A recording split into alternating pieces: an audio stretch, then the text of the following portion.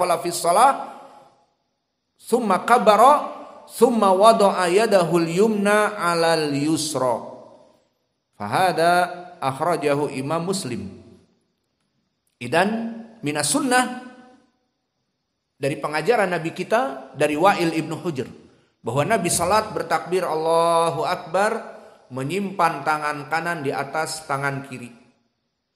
Maka ini sunnah Nabi kita dan sunnah Nabi-Nabi terdahulu salat mereka dalam keadaan tangan kanan menggenggam tangan kiri. Faham? Jadi Nabi Musa, Nabi Ibrahim, Nabi Isa dohirnya salat seperti ini.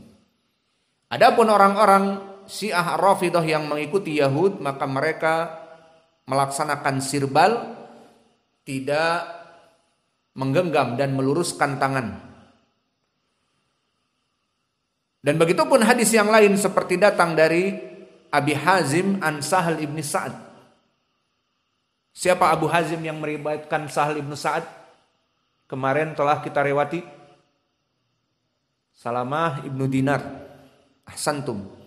Karena nas yuk maruna an yadoa ar-rajulu al-yad al-yumna ala diraihi al-yusra salah. Maka kata Sahal Ibnu Sa'ad, kami dulu kaum muslimin di saat sholat diperintah oleh Nabi untuk menggenggam tangan kanan di atas tangan kiri. Maka ini pun menjadi pendalilan dan hadis ini pun diriwayatkan oleh Imam Al-Bukhari bahwa dari sunnah para anbiya sebelum Nabi Muhammad dan sunnah kaum muslimin di zaman Nabi Muhammad dengan menggenggam di saat sholat.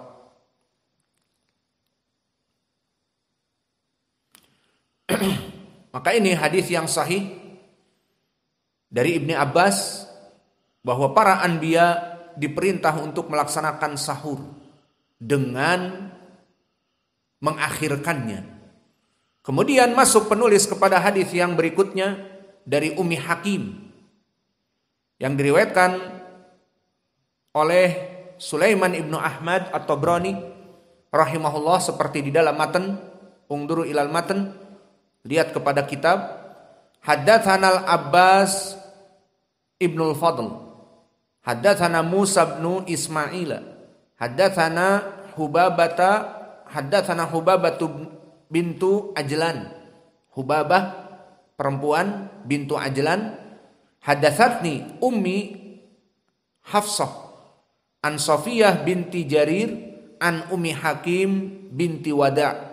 Qalat sami'tu Nabiy sallallahu alaihi wasallam yaqul ajalul iftar wa akharus sahur. Di sini periwayatan dari Ummi Hakim binti Wada seorang sahabiyah bahwa aku mendengar dari Nabi Ajilul iftar, bersegeralah di saat mendengar adzan maghrib ataupun waktu maghrib berbuka dengan cepat. Jangan mengundur waktu. Wa akhirul iftar, afwan as-sahur.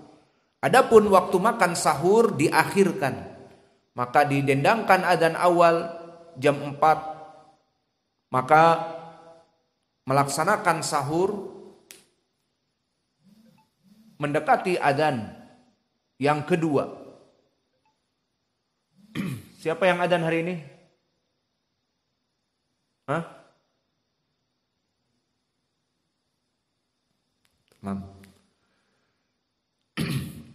Hadis ini barakallahu fikum diriwayatkan oleh Imam At-Tabrani di Mu'jamil Kabir seperti di dalam kitab maka hadis ini sanadnya dhaif karena Hubabah berkata Imam Az-Zahabi di Mizan la tu'raf wala ummuha Safiyah. Dan begitu pun Al-Hafidh di takrib mengatakan la yu'raf haluha. Dan juga Safiyah ibunya la tu'raf.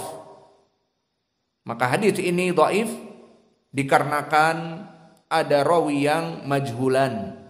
Ada dua perempuan yang dalam keadaan majhul.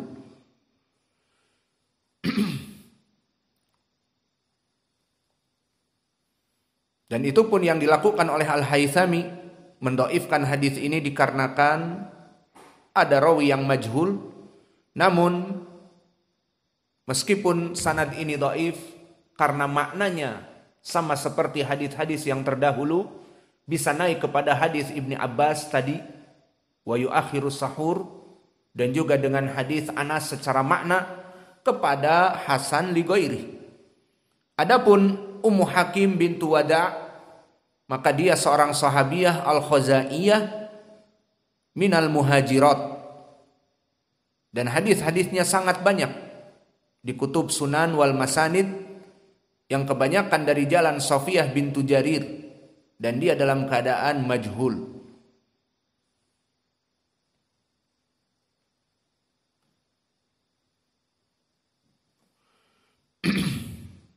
Kemudian penulis beristidlal dengan hadis yang setelahnya di dalam matan dari Abi Dzar. Diriwayatkan oleh Imam Ahmad haddatsana Musa ibnu Daud haddatsana ibnu Lahiyah an Salim ibni Ghailan an Sulaiman ibni Abi Utsman an Adi ibni Hatim al-Hamsi an Abi Dar. Qala Rasulullah sallallahu alaihi wa ala alihi wasallam la tazalu ummati bi khairin ma'ajjalul iftara wa akhi wa akhara wa akharu sahura wa akharu as-sahura. Maka hadis ini pun sama maknanya. The point is wa akharu as-sahura bahwa kaum muslimin dalam keadaan kebaikan selama mengakhirkan sahur. Maka hadis ini mahaluh ya ikhwah indak ya Hudzaifah mahaluh dhaif limada Taib. Di sanadnya ada Ibnu Lahiyah wa huwa dhaif wa kadalika mudallis yaqul an Salim ibnu Ghai an Salim ibni Ghailan. Maka di sini hadis ini dhaif dikarenakan Abdullah ibnu Lahiyah dan begitu pun Sulaiman ibnu Abi Utsman di sini majhul tidak diketahui.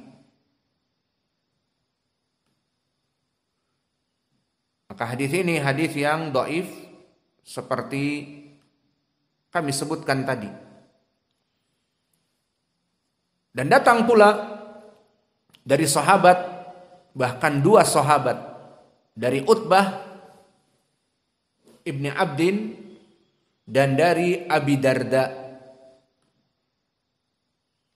Maka disebutkan di dalam hadis yang diriwayatkan oleh Imam At-Tabrani, haddatsana Ja'far bin Ahmad Asy-Syami Al-Kufi Haddatsana Jubarah ibnu Mughallis. Haddatsana Bisr ibnu Umarah atau Imarah Anil Ahwas ibni Hakim An Rasid ibni Sa'ad An Utbah An Utbata ibni Abdin wa Abi Darda. Maka di dalam matan yang kami nukilkan dari Sulaiman ibnu Ahmad atau Broni tanpa disebut wa Abi Darda. Namun tertulis dengan fi'lun madi qala berkata keduanya. Bingung kita siapa? Maka setelah dicek hadis ini diriwayatkan selain atau Broni juga oleh Ibnu Adi di Al-Kamil maka di sini diketahui bahwa Utbah Ibnu Abd As-Sulami meriwayatkan juga dengan Abi Darda keduanya dari Nabi.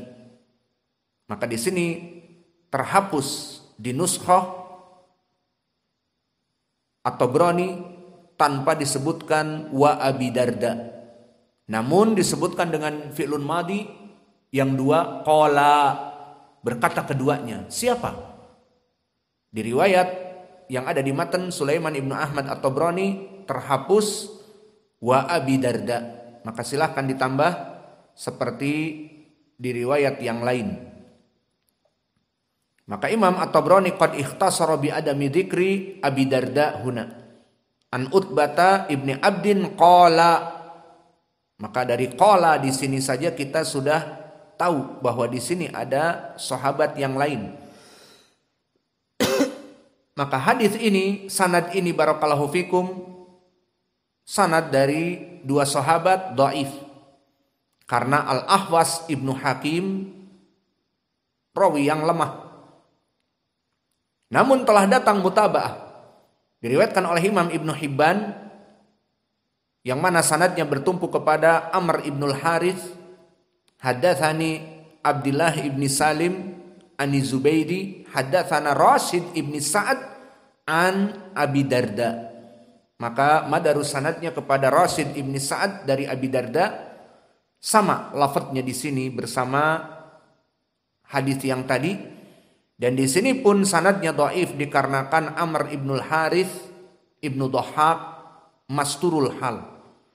Maka dari dua jalan ini hadis Utbah ibni Abd dan Abi Darda bisa naik kepada derajat Hasan.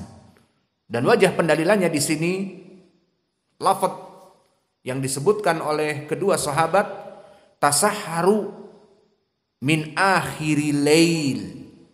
Maka sahurlah di akhir penghujung dari malam. Kapan penghujung malam itu mendekati adan yang kedua? Dan Nabi mengatakan setelah itu, setelah mengatakan sahurlah di waktu paling akhir dari malam kalian, huwal goda al mubarak. Digelari dengan dia itu al goda al mubarak apa makna al-goda? Al-goda indal Arab dimutlakkan kepada makan siang. Seperti undangan makan siang. Ya Allah, goda, goda. Makna goda adalah makan di siang hari. Walima dan Nabi Yakul kepada sahur al-goda al-mubarak. Makan siang yang diberkahi. Maka di sini dari kefakihan Nabi bahwa disebutkan goda al-mubarak sahur itu seakan-akan makan siang karena dekatnya dengan waktu siang. Maka al-goda al-mubarak kenapa Nabi mengatakan al-goda dan goda adalah makan di siang hari karena dekatnya sahur itu dengan fajr athani yang mana jika masuk fajr athani berarti telah selesai malam akan masuk siang maka dinamakan al-goda al-mubarak makanan di siang yang diberkahi karena mendekatinya waktu siang. Dan nanti akan banyak hadis dengan lafaz al-goda al-mubarak dan di sini menjadi pendalilan bahwa sahur itu diberkahi. Seperti hadis yang telah kita lewati minman hadis Anas fi sahihain tasahharu fa inna sahuri barakah. Fa inna sahuri barokah. Maka melaksanakan sahur karena sahur itu diberkahi. Begitupun di sini, huwa al-goda al-mubarak. Bahwa makan bahwa makan sahur itu bagaikan makan siang yang diberkahi. Poin pendalilannya kalimat al-goda disebutkan makan siang karena dekatnya dengan batas dari masuknya siang dengan naiknya Al-Fajr Athani. Maka mungkin ini yang bisa kita berikan. Adapun sisa hadis insya Allah akan kita jelaskan di pelajaran yang akan datang. Wa naktafi ilahuna wa jazakumullahu khaira wa barakallahu fi ilmikum. Subhanakallahumma bihamdika asyhadu an la ilaha